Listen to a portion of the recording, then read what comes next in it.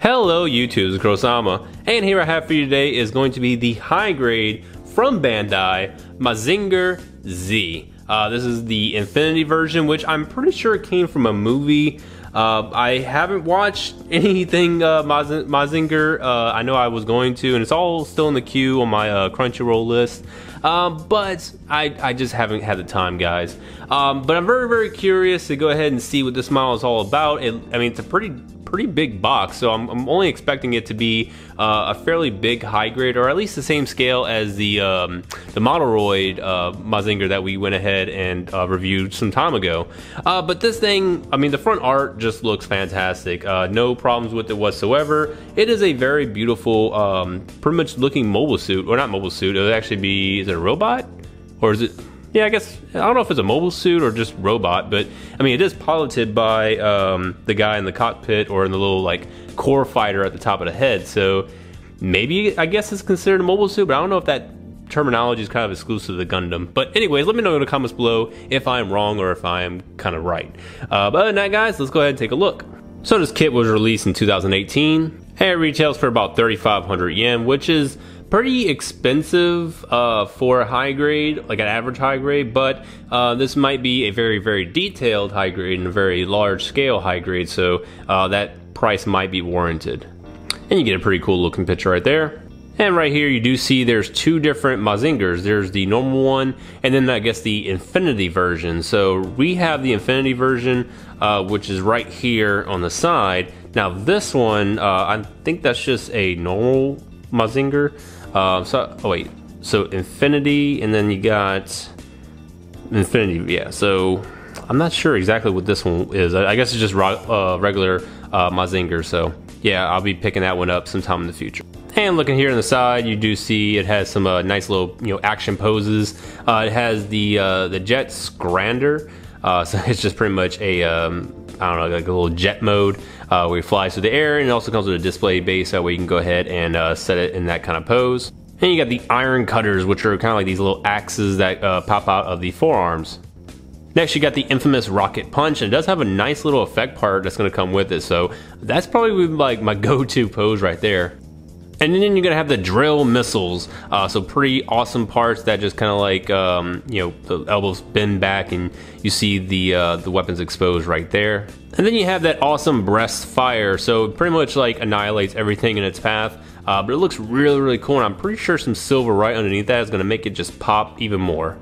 And last but not least, we have the Pilder On. Uh, so that's basically the uh, the core fighter, you know, if you want to go ahead and call it that. Uh, but it rests ever so slightly in the uh, the top of the head, which is very very exposed, but uh, kind of is what it is. Alright, so in total there are 11 runners in this kit, not including the stand. Um, so, so, and pretty much all of them except for runner A is going to be all duplicates. Uh, so let's go ahead and take a look at runner A. You're basically going to have some clear parts, which I'm pretty sure this is what um, you use for like the little flying, you know, aerial mode. Uh, so I think that's just a stand piece. Uh, this looks like it's going to be for, I think that's like the eyes or something, or the faceplate. I'm not really too sure if I'm just looking like this. Um, but you got a lot of yellow right here, which doesn't look too bad. Uh, it's like mustard yellow. Uh, so I mean, it looks okay. You know, I'm pretty sure with the rest of the kit, it's going to look pretty, you know, pretty good. Then you got a lot of glossy black right here, so the black looks fantastic, and I think this is really going to do well with some silver panel lining. If you know, if I'm really just thinking outside the box. Uh, then here you're going to have like the little effect parts for uh, the rocket hands, which looks pretty good, and you're going to have the nice little chest piece right here, which comes in a nice clear red. Alright, next we're to take a look at B1 and B2, but let's go ahead and get rid of B2. Now for B1, uh, basically this is all like a nice, um, it's like a dark reddish, uh, like almost like violet uh, to be honest. Uh, so it's like a blue, uh, not reddish, wow. Uh, it's like a, Alright, and here we're to have runner B1 and B2. So let's go ahead and move B2 out of the way. Now this is more of a, like a, almost like a dark blue, maybe like a violet, you know, kind of like a nice little shade of like blue purplish. Um, but it looks really good. It's very, very glossy.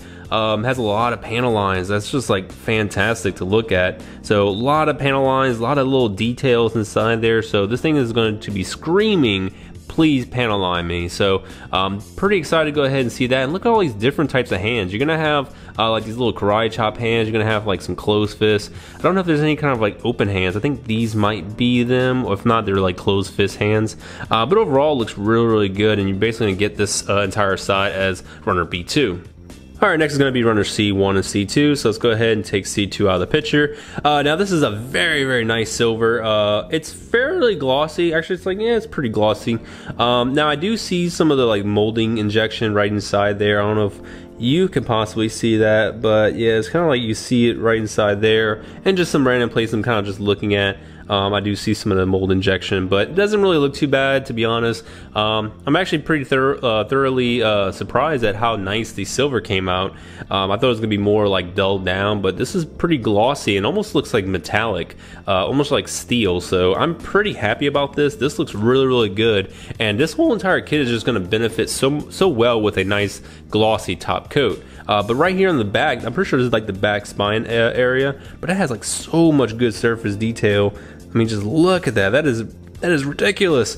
Um, then you're gonna have some of the hand parts, and you're gonna have some. I think this is like the ankles. Um, I could be wrong. And then you got the nice little faceplate. That look, oh, that faceplate looks so good. I'm getting super excited. Just uh, gonna like, just I'm getting really excited to go ahead and build this. Uh, hopefully, I can build this before I head to Tokyo this week. And it's going to have two runner Ds. Uh, these are basically just going to be some more black pieces, which are going to be uh, very, very very glossy. This one especially just looks really, really glossy. You can actually see me in the camera in the picture. So there's me. Uh, I don't know if you can see me waving, but yeah, that's pretty glossy and that looks really, really good. So uh, overall, pretty excited about these little parts. And next we have some red parts. So uh, this, I'm actually not too sure. I think this is just parts of the back uh, backpack. Uh, this is going to be parts of the face right inside here. I think this is part of the jet. And then these are obviously going to be the wings. And they look really good. I mean, nice little details inside there. Uh, so once again, definitely going to be uh, benefiting from some panel lining and uh, some nice little gloss top coat. And next here we have F1 and F2. These are going to be the final runners of the kit. Uh, so this is pretty much going to be a lot of your inner frame and looks really good. Um, this is a little bit more dulled down. Like it's not as high gloss as uh, all the rest of the parts, uh, which is actually pretty fine. So you're definitely going to see like some of those little, uh, the cannon, um, like little cannon parts. Uh, I think there's like spike missiles uh, right inside the elbow. And you're just going to see a lot of the rest of the um, inner frame parts all inside here. Um, I don't know what this part. It's kind of like stand. This look, looks more standoff uh, by itself. I think that might be a stand if I'm not mistaken. Uh, but you got like parts of the waist and all that, and you know parts of the hip and the back and all that. So this looks really really good, and um, yeah. And last but not least, you're gonna get a nice little stand. So these are these are actually from 2017. So I don't know which stand uh, this is actually from. I want to say the um, it's not stage five. I think it was like the fifth like the fifth edition of the stands. Uh, but this, I mean, this came out in 2017, so I had to do a little research to see what, um, you know, what stand came out during that time frame. But yeah, this is a 2017 release. I don't even know what kit came out last year that would warrant this. Um, maybe the, the the the Freedom 2.0. I don't know if that came with this, but uh, definitely let me know in the comments below uh, where this stand came from. And if you was wondering about sticker sheets, this is all you're getting. You're just gonna get some black stickers. This is easily paintable, uh, so no issues at all. I mean, to be honest, I'm very, very surprised. I thought, there'd be a few more stickers. Even the uh, Moderoid uh, Mazinkaiser, you know, came with stickers that were like a lot more, but they were more silver based uh, to go underneath a lot of parts or on the side. But this is all you're getting. That's pretty awesome. And lastly, just looking at the manual. This is actually my first time looking inside here as well. Uh, so just kind of looking at it, you see a lot of X's or uh, Xing out of the uh, the stand. So I guess you're not going to be using all those parts for the stand, but you could probably use them if you really want to. Kind of goes over like some of the things like do's and don'ts of building a model kit. And then over here, you're going to start off with that little uh, hover Pilder.